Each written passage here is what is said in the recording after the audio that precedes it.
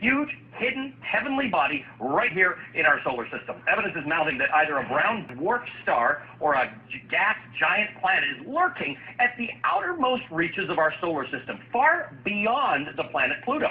According to the British newspaper The Independent, the object is four times the size of Jupiter. Experts say the presence of such a massive object could explain why a barrage of comets has been coming from that direction. Well,